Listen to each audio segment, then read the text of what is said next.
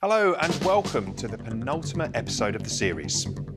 Today, the search continues for the remains of Suzanne Pilley, who was murdered in 2010.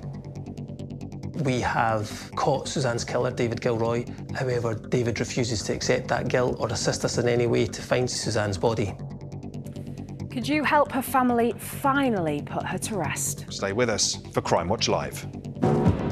Jamming the switchboard both here and at the room on that case of Welling Garden.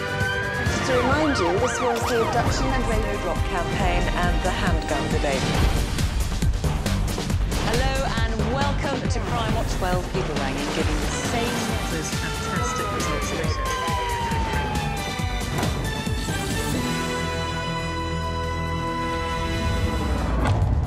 Good morning and thanks for joining us. We had a huge response to the film we ran yesterday about that horrific collision where a dangerous driver, three times over the limit and on his phone, ploughed into a car and killed a seven month old and his aunt. We will pass all those messages on. So thank you for everyone that's got in touch. And we still have plenty in store today, including the peculiar case of a con artist preying on a pensioner by using her beliefs to steal thousands. And we'll be digging into the detail of rural crime. When this type of crime happens, everybody is determined to catch these type of offenders and put the offenders behind bars.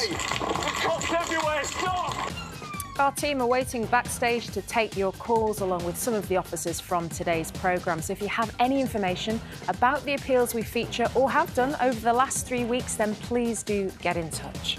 It's easy to do. You can scan the QR code below using your phone's camera. That will take you through to our homepage. Otherwise, you can call us, and that's the number there 08000 468 999. You can text us on 63399, text crime, leave a space, then write your message, or just send us an email if you prefer. That's the address there cwl at bbc.co.uk. Now, first responders are trained to deal with all sorts of situations, having to make quick decisions that really can make the difference between life and death, which is exactly what Thames Valley Police did in this remarkable story. Valley Police, what's the emergency? A mobile home has just blown up. Someone needs to get here quick. Five uh, ambulance, please. Move back! Oh my god.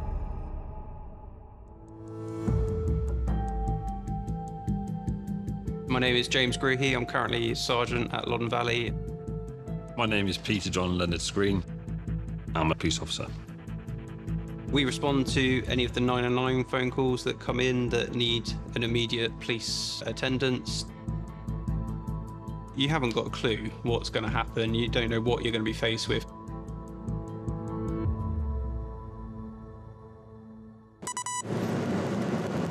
T5 copy.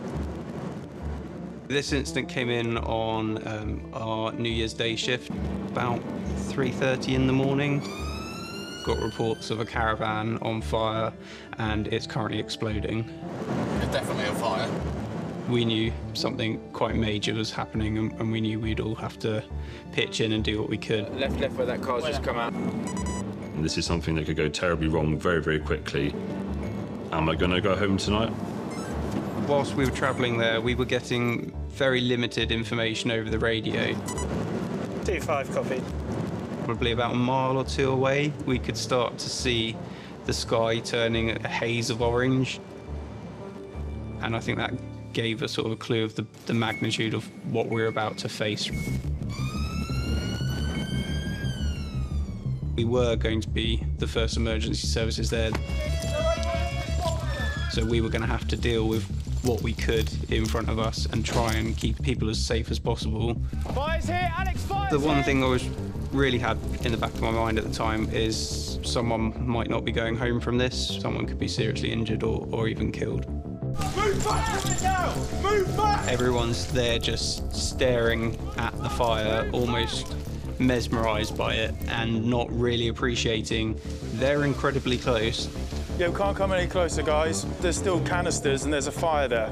We tried to discuss how far we would need to get people back from the explosion, how many caravans we were likely to have to evacuate around them, and appropriate evacuation technique. Ladies and gents, move back!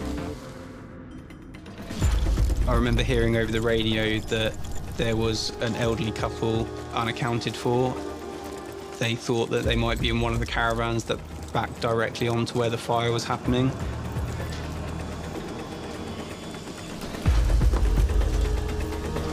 Apparently there's two old people that live in this one. We go over, start basically hammering on the door, trying to raise someone, try and get them out.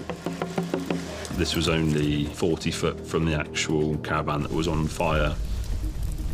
I knew that a couple of our colleagues had arrived a few minutes beforehand and they had found a casualty just outside where the fire was happening. When I saw the, the casualty on the floor was this is not good. He was really badly injured and quite severely burnt all over his body. I, I knew it was going to be really touch and go for him. We need to get him out of here as, as soon as possible. Everyone was pitching in, doing what they could to, to give first aid. Fire was spreading.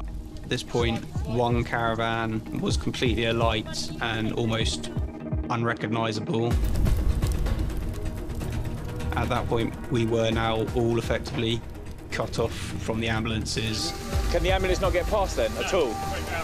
Okay. Someone managed to grab board from somewhere. We fashioned a makeshift stretcher. Everybody got it? Yep. So we just tied him to the board.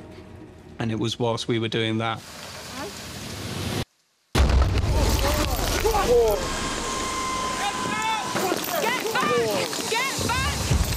The fireball spanned a good 50 to 100 meters into the air.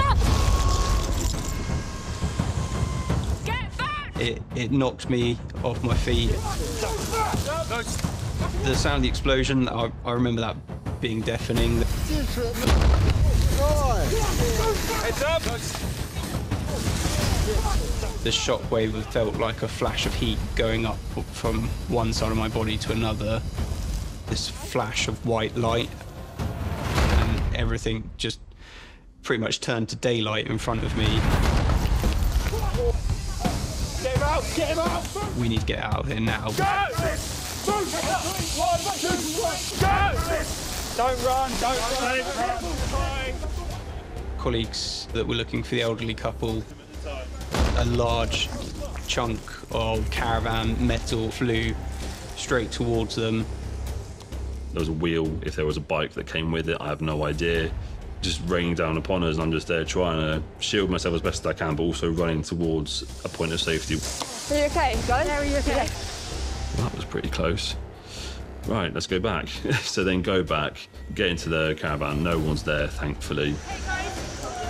We still had lots of residents out in front of us. Keep moving! Move back!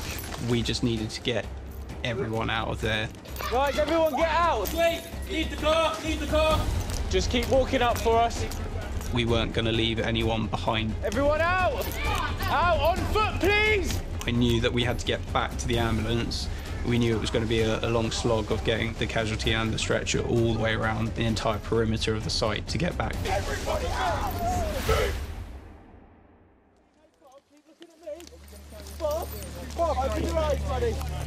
It was a real sense of relief just seeing it there and just handing him over. Got all of our colleagues together. Right, leave, leave it this way there. Looked at each other and just went, right, back we go. The casualty went to hospital and he managed to, to pull through. And I think he was in hospital for a long time, but he, he made a recovery. Everyone played a really key part of keeping everyone safe. Thankfully, nobody lost their lives that night.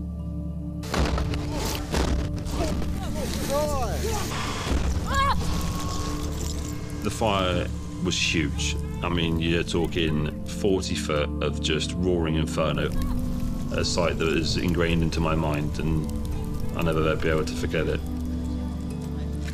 If it happened again, without a doubt, I'd run straight towards it and make sure I did the best thing possible. We just attended the National Police Bravery Awards. I don't think any of us thought that we'd get recognised for anything like that. We were just doing what we thought we needed to do uh, to keep people safe and, and basically just doing our jobs. To see so many of my young in service colleagues acting so heroically and without a second thought for, for anything made me in- incredibly proud of all of them. I don't think anyone on our team had dealt with something of that scale. It still amazes me that no one was killed. Such bravery from those officers there. The explosion must have been absolutely terrifying. Now, those two elderly residents the officers were looking for were safe and well.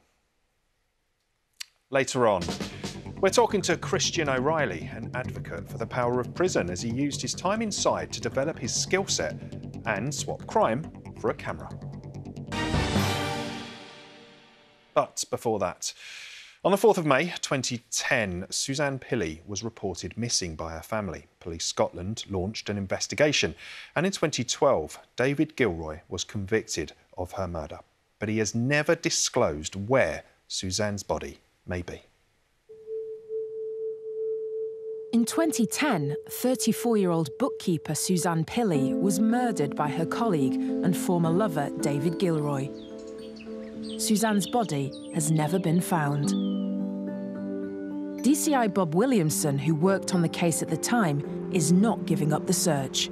It was very unusual to solve a murder without a body. We have caught Suzanne's killer, David Gilroy. However, David refuses to accept that guilt or assist us in any way to find Suzanne's body. The movement of David Gilroy over the 4th and 5th of May 2010 can be boiled down to a, a series of events where he's attempted to maintain a normal life fully in the knowledge that he has murdered Suzanne and is making plans on how to, to hide her body. After he's killed her, he has then advised another colleague that he needed to return home. He's collected his car and brought it back into Thistle Street Lane. At some stage during that, he's then moved Suzanne from below the fire escape area and placed her within the boot of his vehicle. He's finished his work, driven the car home, and met his wife and family for a function at the school. He's then attended a local restaurant in Edinburgh and then returned home. Having made alterations to his calendar, he's then attended a meeting at Lochgilphead Community School, which was a surprise. And he then cancelled a person that was supposed to be coming with him for that meeting, which was also unexpected. He has had time to make that plan, given that he had killed Suzanne in the morning of the 4th and didn't leave for his journey until the late morning of the 5th of May. His actions after a murder are certainly cold and calculated. He's taken extensive steps to hide Suzanne and prevent her ever being found. Police were able to track Gilroy to Argyll through CCTV and phone data, which exposed red flags with his story. The first was the route that he took. He would normally come up the west side of Loch Lomond, across the Rest and Be Thankful, and then down to Lochgilphead. We know this because he had taken that journey a number of times with another individual from his work. But on the 5th of May, Gilroy chose to take a completely different route that led him up to Tyndrum, past the Green Welly stop, round to Inveraray, and down to Lochgilphead. That should only take about 40 minutes. However, on the way to Lochgilphead, it took David 1 hour 33, and on the way back, an hour and 50 minutes, which clearly brings in a bit of a question as to what was happening. Now, that area from Tyndrum to Inveraray is a very remote road. There's forest tracks that are accessible to vehicles, but would certainly be a suspicious situation if a vehicle such as a Vauxhall Vectra was driving along. There's lots of opportunities along those routes for him to have driven off-road with the purpose of hiding Suzanne. The search for Suzanne's body has never stopped. The area um, that we're looking at can be described as a mixture of rural countryside, highland areas, and planned forests. It's a massive, massive search area. the potential of where he could go, particularly if he's got knowledge of the area. And we believe that David was interested in wild camping, so we'd know a lot of these routes that were maybe off the normal walking routes that people would take. So when we factor that in, an hour and a half on the way up and an hour and 50 minutes on the way back down is considerable time to be able to, to find a suitable spot for hiding someone. The underside of the vehicle, when it was forensically examined, revealed scuff marks on the, the base and some damage to this, the spring coils, which suggested that it had maybe been driven off-road. Until Suzanne Pilley's body is found, her case remains open. Police Scotland have maintained contact with Suzanne's family throughout. Rob, her father, has since sadly passed away, not ever having got the answers that we've been trying to get him and bring Suzanne home. The fact that we couldn't get Suzanne back in time is still a painful thing for us. We still reassure Suzanne's family constantly that we'll do anything we can to find Suzanne and that any information that comes to us, we'll make sure that we follow up on and we'll always keep them involved. David's lack of cooperation is very frustrating, and I think the honourable thing to do is to bring some closure to Suzanne's family and bring her home. It means so much to the family and everyone involved in the investigation if they could do just that bring Suzanne home. Earlier this week, I spoke to DCI Bob Williamson from Police Scotland and I started by asking him why they're continuing their appeal. It's very unusual to have no body murders, and uh, particularly when someone's convicted for that crime, you would hope that they would assist you in finding the remains of the family's loved one, in this case Suzanne. However, David's not assisted, so again, we're back asking the public if they can help us think back to that day and if there's any chance that they could remember from back in May 2010 as to whether they saw anything unusual in the area of that that we've talked about in the show and a person walking about that just didn't seem to fit into the area, or even that silver Vauxhall Vectra driving in a, on a road that it shouldn't be on. Well, can you just remind us of where police believe Suzanne may have been taken? Sure. So we believe that the, the route that David took was up past the rest and be thankful. Um, and during that journey, he took a number of uh, potential routes uh, switching his phone off, which gave him access to a number of roads that uh, we just don't know at this time the, exact route that he would have taken. But it was certainly up in the Argyll Forest area and the rest and be thankful, certainly around that area, all the way round to Lochgilphead uh, via Inveraray. Now, this was a long time ago, but there was some distinctive markings on the vehicle that you really need to for people to think back in case it jogs their memory, because that could be crucial to this investigation. That's correct. Yeah, it, it was a silver Vauxhall Vectra, and we believe it had some. Although they wouldn't have been obvious to the public, it, when we examined the vehicle, it had some scuff marks on, on the underside, some damage, minor damage to the underside of the vehicle that suggested it may have been driven off road.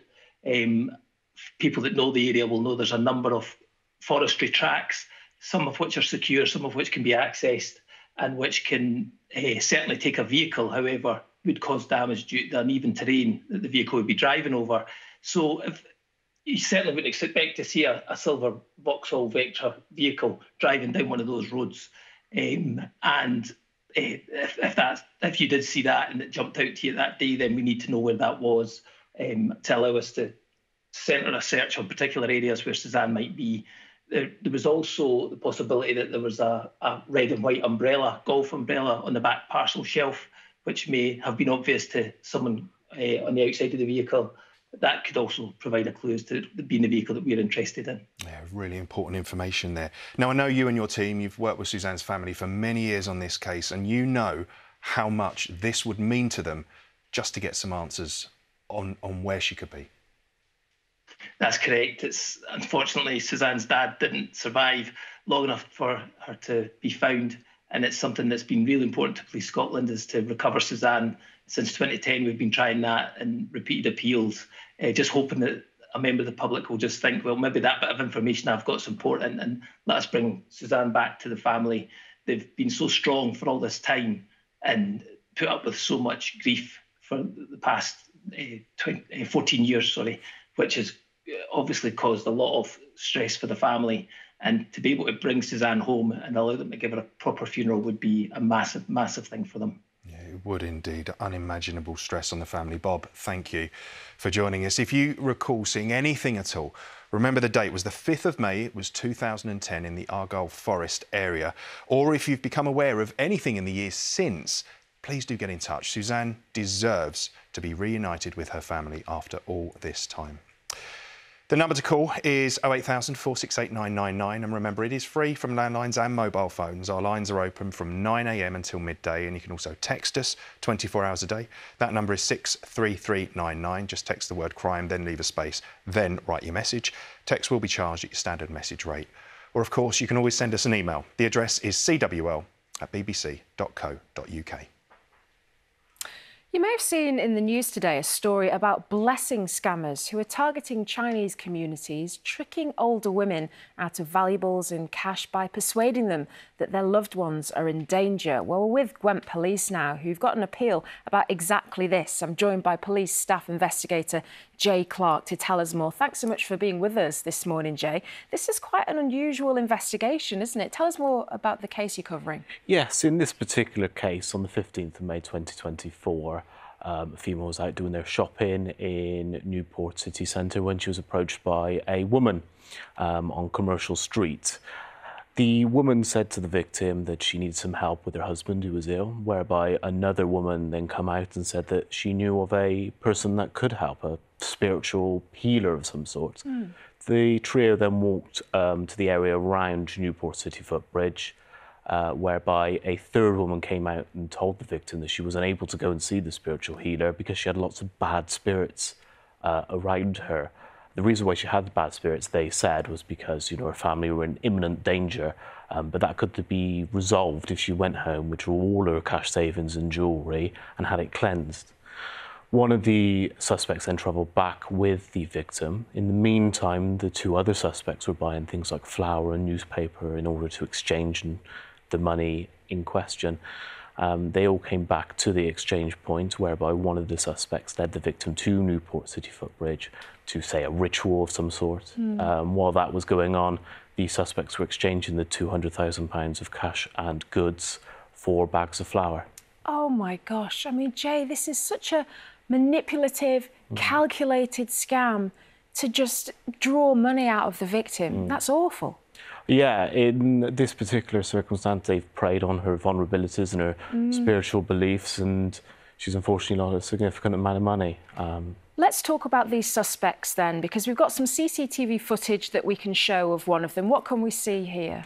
So this woman is a Chinese woman. She's going into a local uh, shop in Newport, and she's buying here the the flour, um, which will later be used to replace the cash. I see. Uh, We've got a freeze frame image of, of the suspect here. How would you describe her? Uh, she's a Chinese female, uh, can speak Cantonese, it's believed. Uh, she's got black, shortish hair, and she's of average build. OK, and we've got an image of the second suspect. How would you describe this female? Again, of Chinese descent, I believe to speak Cantonese. Uh, she's got shorter black hair, she's slightly thinner um, and slightly taller as well than the first suspect.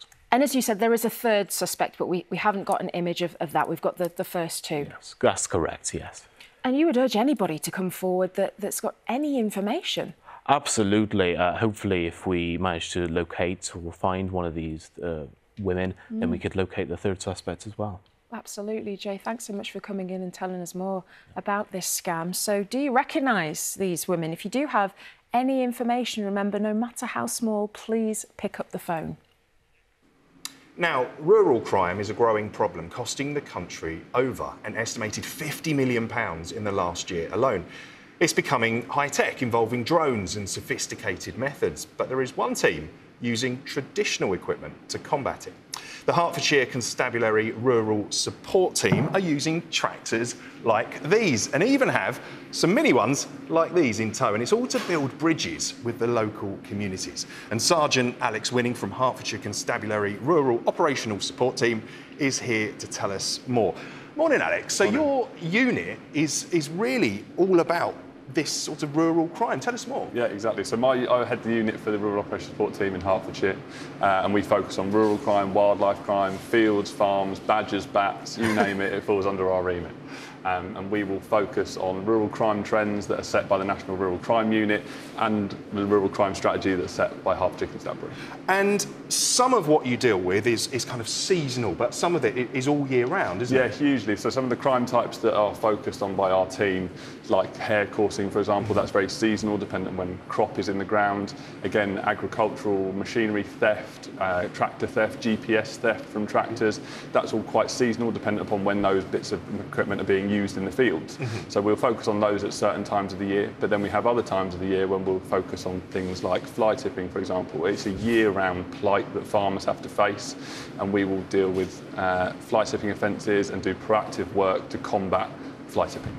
And a big part of the team's role is, is to raise awareness and change people's perceptions around rural crime, isn't it? Why is yeah, that so hugely. important? I think there's been some misconceptions in years gone by around rural crime and whether it's worth reporting it and whether the rural communities will get the same support from the police as people in the town, let's say. Mm. And my unit's role, part of my unit's role, is to try and change those perceptions and get people engaged with it, get people reporting.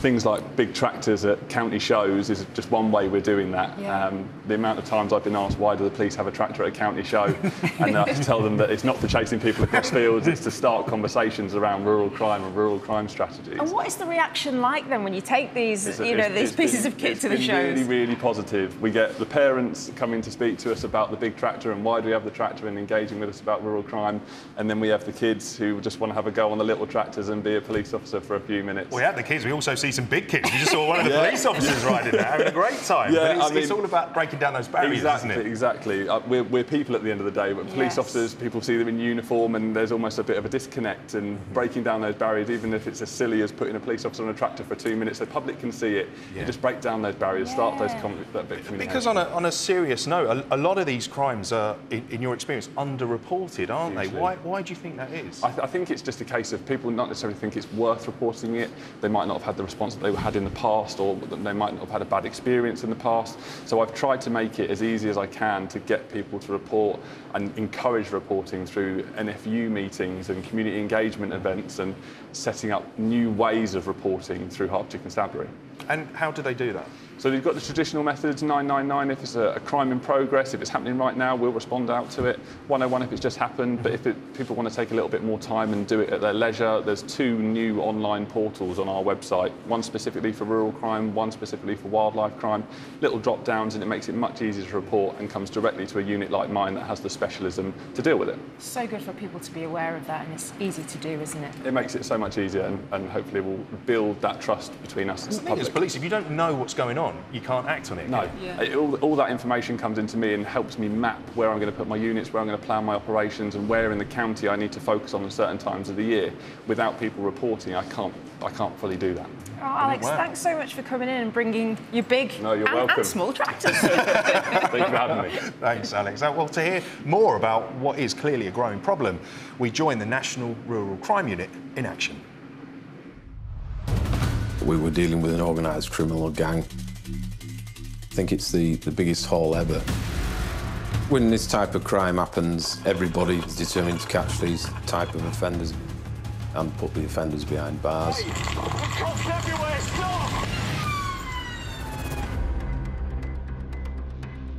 Across Britain, there's a new crime wave hitting the countryside.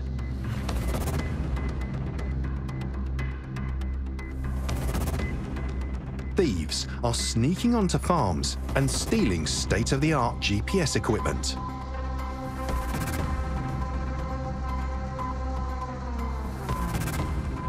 And farmers, like Bobby Barnes, are suffering. We had five GPS receivers and three GPS screens stolen in the night. We have some CCTV footage of them walking in across the field We've got no idea who they were. They they were masked, hats on, and they went in and out. The GPS devices, which can cost more than £10,000 each, have become an essential tool for many farmers. We're applying products, chemicals, seeds with it, and it all gets put on a lot more accurately and saves us, along with our customers, lots of money.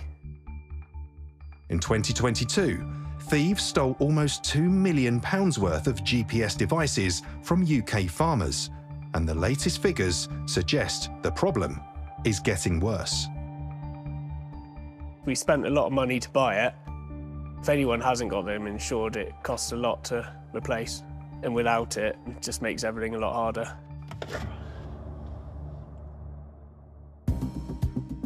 Thankfully, there's a dedicated network of police officers working to put a dent in this lucrative criminal enterprise. The National Rural Crime Unit, they're specifically tasked with targeting offences which occurs on farms and farmland. It's been recognised it's become a national problem and that team's job is to specifically target those offenders. In 2023, the team worked on a challenging case involving the theft of GPS devices after some intelligence was passed to them from North Yorkshire Police. These offences have been going on uh, nationally for a number of months, but we had no leads on, on the case. Uh, no offenders had been identified. The only thing we knew is that there was a Vauxhall Antara had been linked to some offences in North Yorkshire. At the end of April last year, that vehicle activated ANPR cameras in the Humberside area. Officers were quickly deployed and um, got behind that vehicle. They've then found the vehicle on Holderness Road in Hull, and then the vehicle pulled into a, a car park. All right. The male tried to make off from officers on foot. Cops everywhere, stop! In the end, he, he, he was caught and he gave up. Defence, don't mention my question until play by court. Anything you do say, make evidence, understand? The man was a Lithuanian national called Tomas Stakauskas. We searched his vehicle, and within that vehicle was 17 GPS devices and screens. Nearly all of these was wrapped within tin foil. Once they become unplugged, they, they no longer pass out a signal. This is obviously unknown to Stakauskas, and he thinks by wrapping them in tin foil, he makes them undetectable. The value of the haul was estimated to be around £170,000. Tomas Stakauskas was arrested on suspicion of theft and taken to the police station, while officers investigated where the GPS units had been taken from. Some of them had serial numbers, and it was found they'd been stolen nationally from as far afield as Scotland and down south in uh, Devon and Cornwall. At this point, the uh, National Rural Crime Team became involved. The vehicle Stakauskas was driving was registered to a false address in Hull. The officers did some further checks and they went to a previous address of Stakauskas. The person they found at the address was a man called Mantas Palionis. On doing further checks, there was a, a van outside which was on false plates.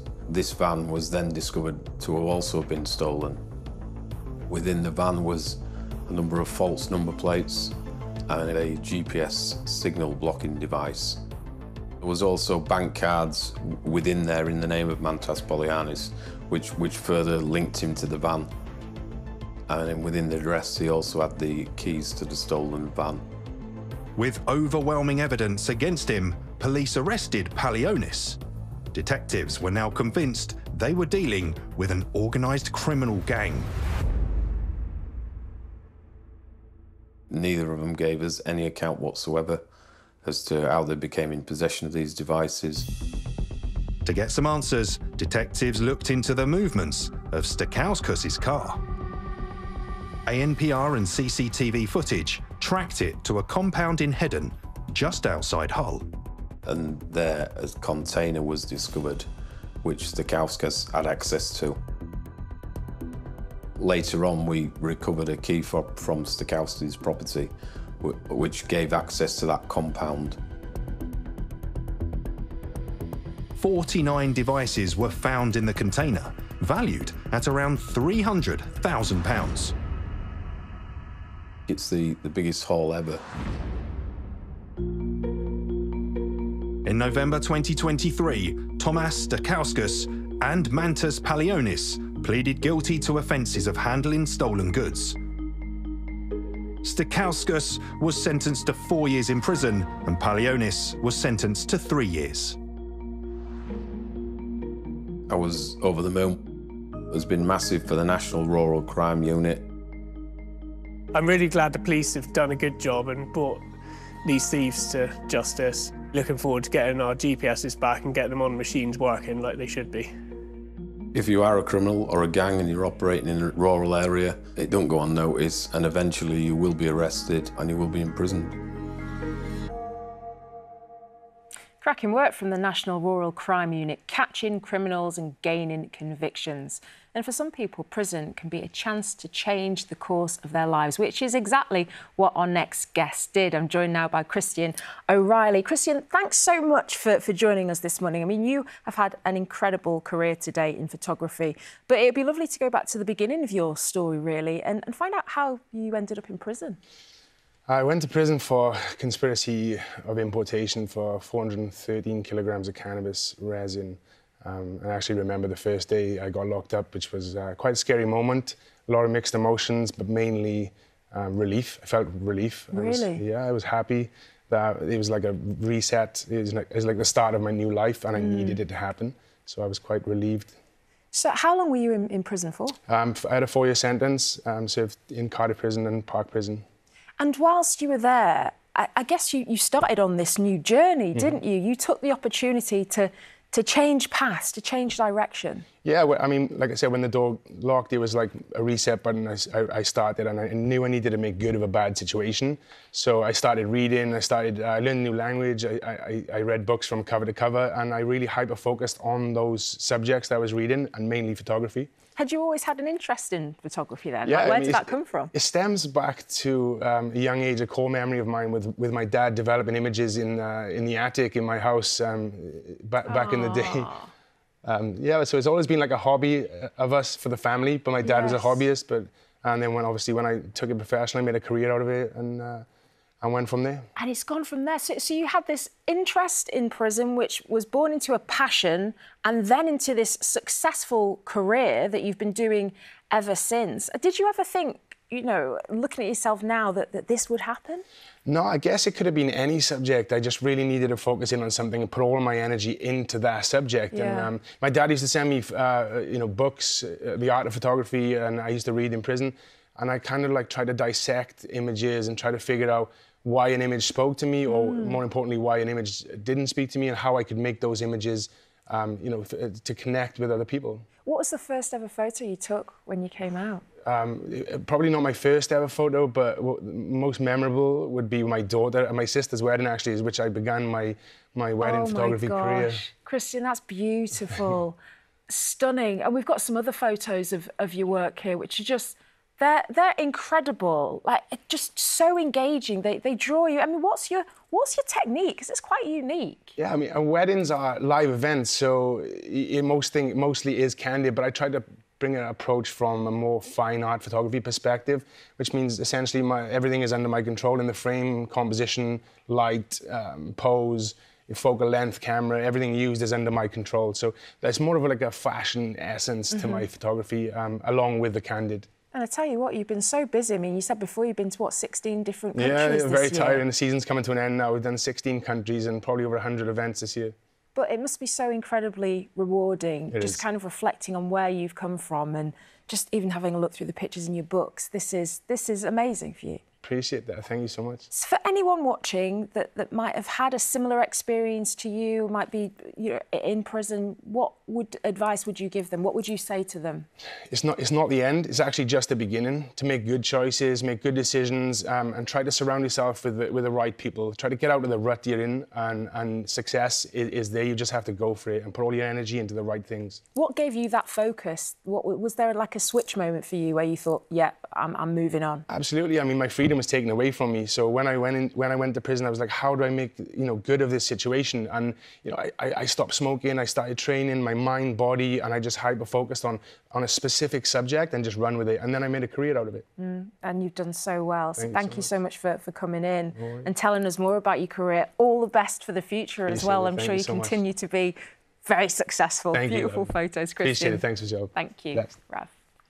Absolutely, some incredible photos there. Time now for Wanted Faces.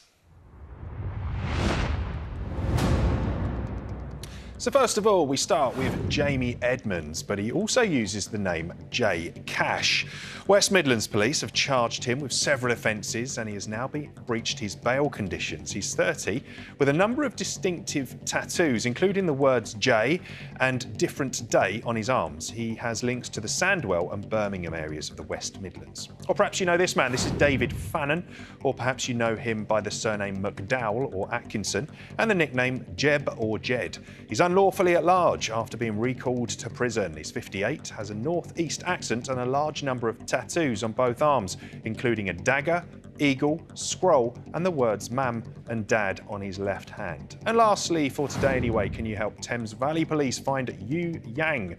Though you may know her by the name Nikki Yang. She's been found guilty of causing injury by dangerous driving, but absconded before being sentenced. She has links to Warfield and Bracknell in Berkshire, and to London, in particular, to the Canary Wharf, Isle of Dogs, Greenwich, Vauxhall, and Nine Elms areas. So, if you recognise any of these people, please do get in touch. And we just wanted to bring you a quick update on an appeal we ran last Friday into a fatal hit and run in Hammersmith, London.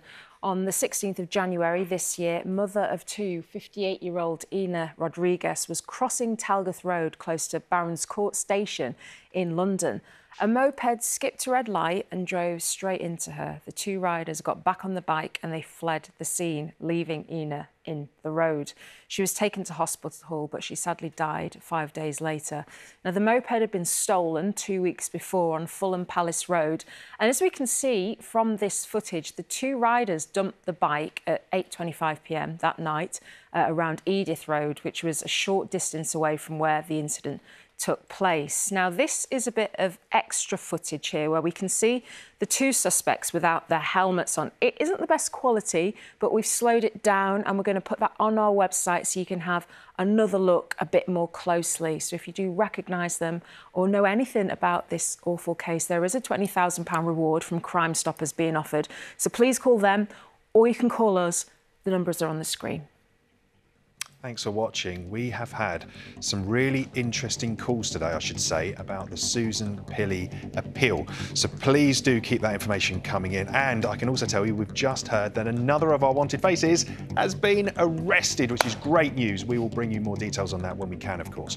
If you would like any help on any issues raised throughout the programme, then please do contact BBC Action Line. Tomorrow, the mystery of the murder of Paul McGrath and his sister's heartfelt plea to finally find his killer.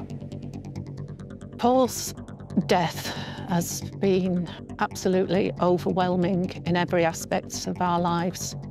And that pain can only be reduced by us getting justice.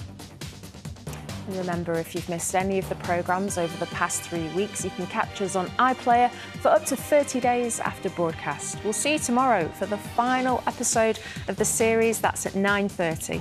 See you then. Bye-bye.